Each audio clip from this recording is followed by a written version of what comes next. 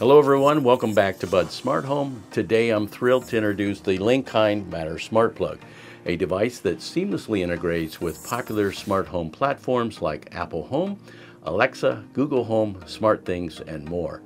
Stick around for a demonstration where I'll compare the process of adding this Matter device to the SmartThings version 2 hub, which is solely a Matter controller, and then I'm going to add it to my Aeotec hub, which is equipped with a thread border router.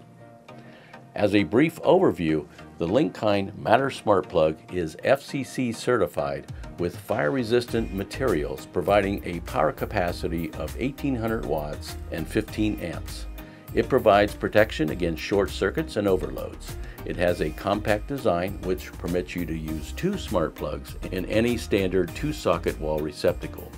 The plug 2-pack typically retails for around $37 or about $18.50 per plug. I was fortunate to purchase this during the Amazon Black Friday event and paid only $23 for the two plug pack. Before you rush out to get your Linkind Matter smart plugs, here are some important tips. Matter devices require a 2.4 gigahertz Wi-Fi and a IPv6 network, so ensure that your setup aligns with these requirements.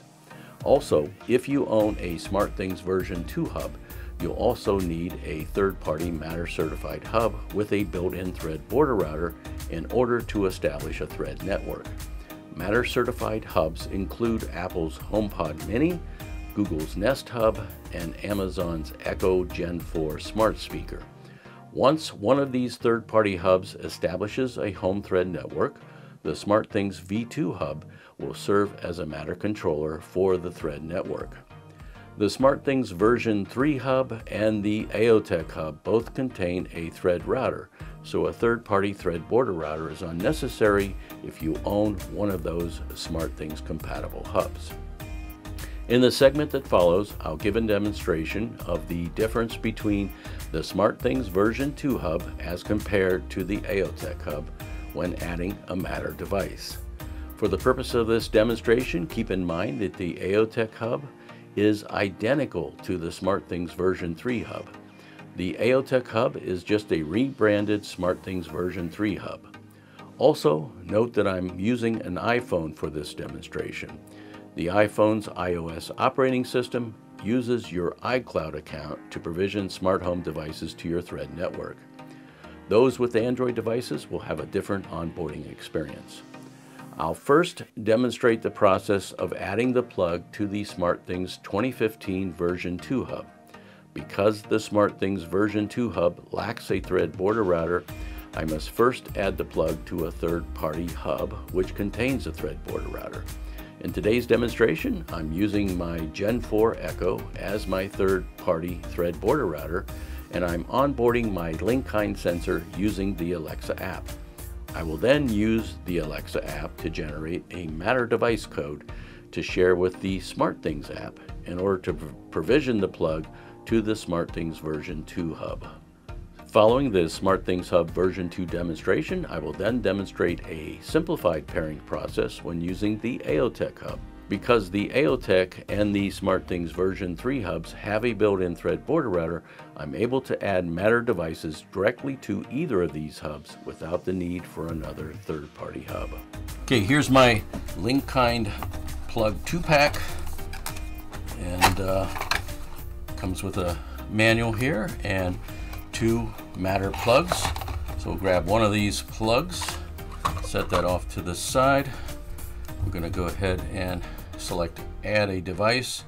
So to do that, we just go to devices, hit the plus sign, add a device, and uh, going to say plug and other, and we're going to select matter. And it's asking if it has a logo, matter logo, it does, so we're going to scan that code. And uh, here we go that under the camera. There we go, it picked it up. Looking for the device, we're gonna go ahead and then plug this in. So it says connecting to your device. This is flashing between yellow and green. and it's supposed to be rapid flashing yellow or orange I guess that says orange in the in the manual whenever it's establishing the the, the uh, network I guess. So we'll try that. It went blank on me here. So we're gonna try this again. I'm gonna reset this. Alright so now it's connecting so I pressed and held that just to turn it on. Alexa is getting your device ready. It's rapid flashing there.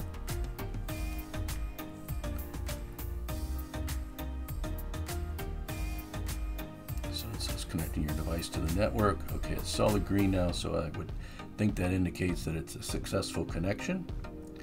All right, so before it called it a uh, Lidarson or Leaderson plug. I don't know why it refers to it as Leaderson, but it is a Linkind plug. We'll hit next.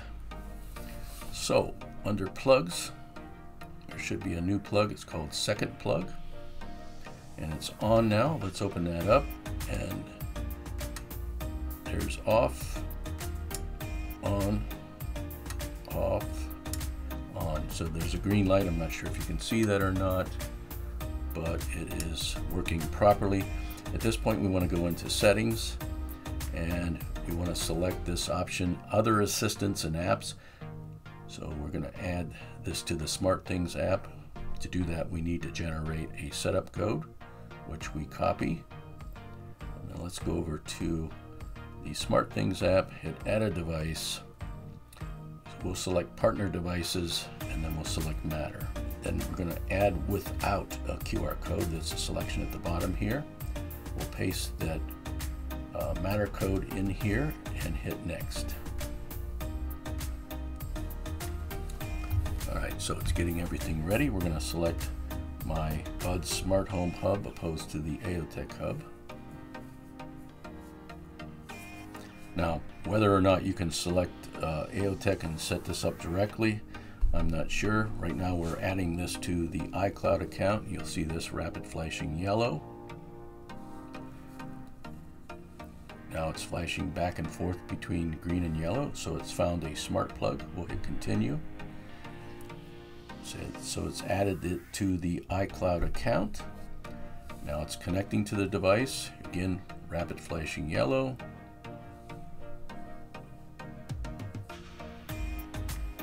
Registering the device.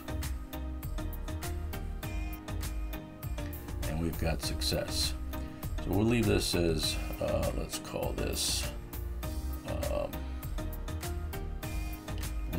plug one. Save. And we'll just leave that in miscellaneous room and hit done. So there's no energy monitoring or anything like that. Um, I don't know why it's saying it found the plug. So very responsive on and off. And yeah, like I said, there's no energy monitoring on this plug. It's a simple off on plug. So we got that one added. Um, I'm curious as to whether I can add a plug. We'll put this over here in the other slot. I'm just curious whether I can add this second plug directly to the Aeotec hub since it has a thread border router built in. I've not tried this yet, so this is uh, an experiment. So we'll go ahead and let's try to add a device. And this is without entering it into the Miss A app. So I'm not sure how this is going to work if I can have two different thread networks or uh, just going into uncharted territory here. So we're going to add partner devices matter and we'll go ahead and scan this QR code directly into SmartThings. Alright, so it's found the code. Says now ready to add. We'll try directly to the Aeotec hub here. Okay, preparing your device. Let's go ahead and plug this in. All right, it's in discovery mode. Found outlet. Connecting.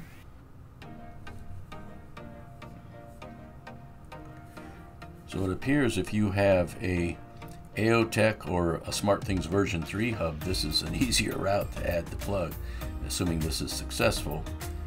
It appears to be setting it up in the iCloud account. Outlet name, smart plug, we'll call it uh,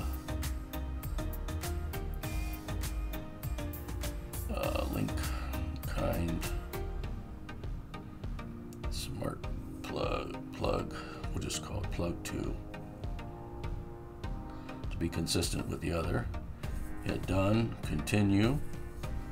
So it's been added. All right, it's flashing, connecting, rapid flashing amber or yellow. Registering. So it's been added now. So we'll hit done. So go back to this menu so you see Linkind plug one. A new device has been found. Add this device to SmartThings. So we're already added it, so I'm going to exit out of there. So we got Linkind plug one, Linkind plug two. It's got sort of a funky icon there. So let's edit device. I guess it does have a plug icon. I don't know why it's showing up like that, but let's try it. Okay, on and off. So it's very responsive. Oh, there's the, the plug icon now. So both plugs are on and working properly. So the moral of the story is if you have an A, uh, excuse me, a SmartThings V3 version 3, that's the 2018 hub, or an Aeotec hub, you can add it directly to the SmartThings app without going through the Messe app. If you have a V2 hub, um, then you need to go the route of having a thread border router to establish the connection to the thread network and then get a uh, matter code to petition it to uh, the SmartThings app, like I showed you in the first scenario there. So there you have it. And there you have it, folks. The Linkind Matter Smart Plug. If you're in the market for an affordable, Matter compatible plug, check out this Linkind Matter Smart Plug. Don't forget to like this video, subscribe to Bud Smart Home for more tech insights, and hit that bell icon to stay updated. Until next time, stay smart and stay connected.